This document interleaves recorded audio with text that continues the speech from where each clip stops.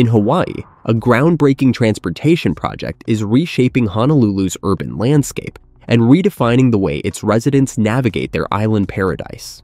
The Skyline Honolulu Railway, a marvel of modern engineering and the first fully automated driverless metro system in the United States, is more than just a rail line.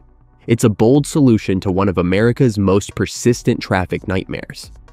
Stretching nearly 20 miles across Oahu, Skyline promises to connect bustling city centers with suburban havens, offering a swift and sustainable alternative to the gridlocked highways that have long frustrated commuters.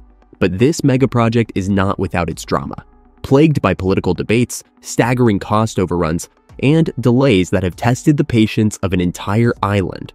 Skyline's journey from concept to reality has been a roller coaster of triumphs and setbacks.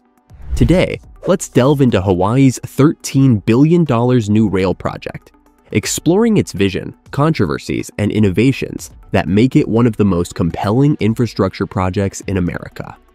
Don't forget to click on that subscribe button and like this video, as it's the best way to support this channel.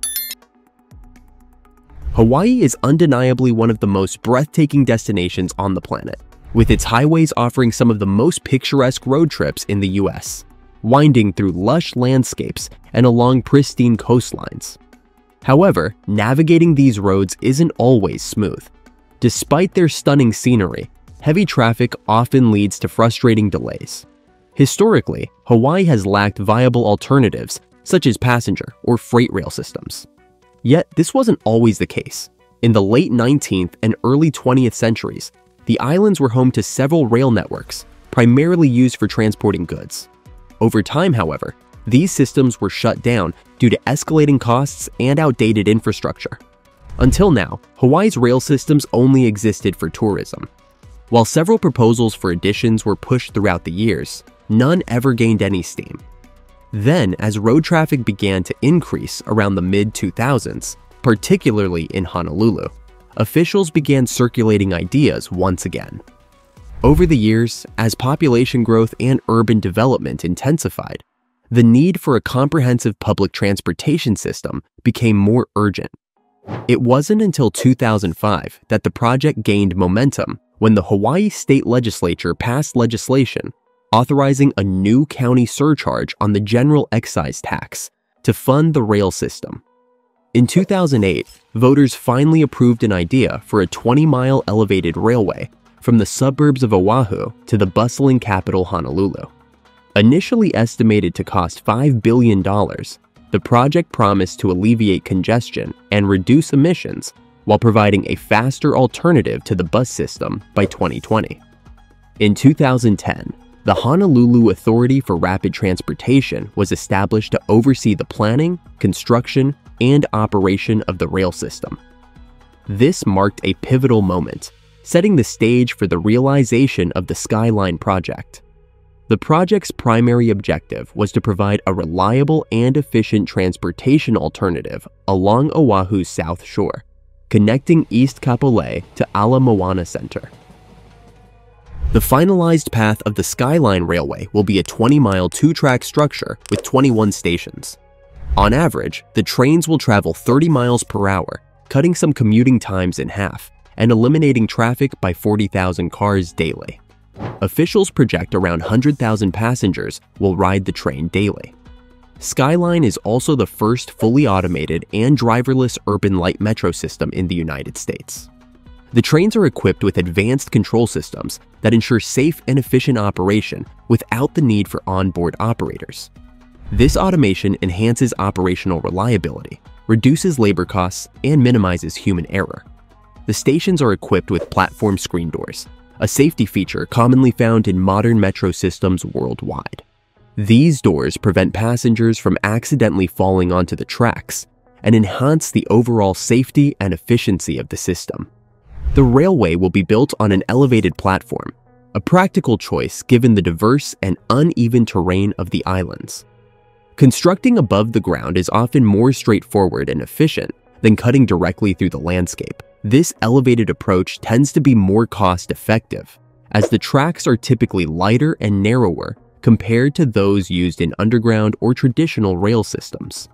Additionally, This design enhances both speed and safety, all while enabling normal activities to continue uninterrupted beneath the rail line. The trains are designed with energy efficient features, including regenerative braking systems that capture and reuse energy. Additionally, the rail system is powered by electricity, contributing to reduced emissions compared to fossil fuel powered vehicles. Skyline is also designed to integrate seamlessly with Honolulu's existing bus network. Passengers can use a single smart card for both bus and rail services. This integration simplifies payment and facilitates smooth transfers between different modes of public transportation. The development of Skyline has been divided into three main phases, each encompassing specific sections of the rail line and associated infrastructure. The first phase of the Skyline project spans approximately 11 miles and includes nine stations, connecting East Kapolei to Aloha Stadium. Construction for this phase began in 2011, and after numerous delays and setbacks, it was finally completed and opened to the public in June 2023. This phase serves key residential and commercial areas, offering a vital link between suburban communities and central Honolulu. The initial phase was celebrated as a major milestone, marking the commencement of passenger services and setting the stage for future expansion. The second phase extends the rail line by 5.2 miles and includes four additional stations. Notably, this phase will serve the Daniel K. Inouye International Airport, providing a critical connection between the airport and the city. The integration of the rail system with the airport is expected to enhance convenience for travelers and support tourism, a vital sector of Hawaii's economy. Construction for this phase is ongoing with the guideway and track work already finished. Passenger service is anticipated to commence in late 2025. The final phase of the Skyline project will extend the rail line through downtown Honolulu, reaching the Civic Center near Ala Moana Center, the city's largest shopping mall. This 4.1 mile stretch will include six stations, serving key urban destinations such as Chinatown, the financial district, and government buildings. The completion of this phase will mark the culmination of the Skyline project, resulting in a 20 mile fully operational rail system. The project's full build-out is expected to be completed by 2031. Despite its ambitious plans, the Skyline project has faced numerous challenges, many of which have sparked public and political controversy. One of the most significant challenges has been the project's escalating costs. Originally estimated at $5 billion, the total cost ballooned to $10 billion in 2021. As of today, the cost of the project has risen to nearly $13 billion. This increase has been attributed to various factors, including rising construction costs, design changes, and unforeseen technical challenges. Delays have also plagued the project, with the original completion date pushed back multiple times. The final phase, initially expected to be operational by 2026, is now projected to be completed by 2031. Meanwhile, the project has been a focal point of political debate in Hawaii, with critics questioning its cost effectiveness and necessity. Some have argued that the funds could have been better allocated to other infrastructure projects or social programs. Public opinion has been divided, with some residents expressing frustration over the delays and cost overruns while others remain optimistic about the project's long-term benefits. The construction of the rail system has raised concerns about its impact on the environment and cultural sites. Some areas along the rail route contain sensitive ecosystems and significant archaeological sites, prompting the need for extensive environmental impact assessments and mitigation measures. Balancing development with environmental and cultural preservation has been a core challenge for this project. Despite the challenges, Skyline is poised to bring numerous benefits to Honolulu and the broader Oahu community. Skyline is expected to significantly improve mobility, particularly for residents living in suburban areas with limited access to reliable public transportation. By providing a fast, efficient, and affordable transit option, the rail system will enhance connectivity across the island.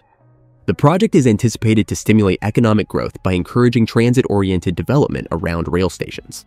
New residential and commercial projects near rail stations are expected to generate economic activity, create jobs, and contribute to the revitalization of urban areas. Also, by reducing reliance on private vehicles, Skyline will contribute to lower greenhouse gas emissions and improved air quality. The project aligns with Hawaii's broader sustainability goals, including its commitment to achieving 100% renewable energy by 2045. With 40% of the project still unfinished, Skyline has a significant journey ahead before the rail line fully extends into downtown Honolulu. As the burden of covering budget overruns falls on local residents and businesses, many are questioning whether the promised benefits will justify the hefty price tag. The ultimate value of Hawaii's new rail system remains uncertain, and only time will reveal whether the investment will prove worthwhile. Ultimately, Skyline's success has the potential to serve as a model for other cities seeking to modernize their public transportation systems and promote sustainable urban development. What are your thoughts on this mega project? Leave a reply in the comments section. Thanks for watching and see you in the next video.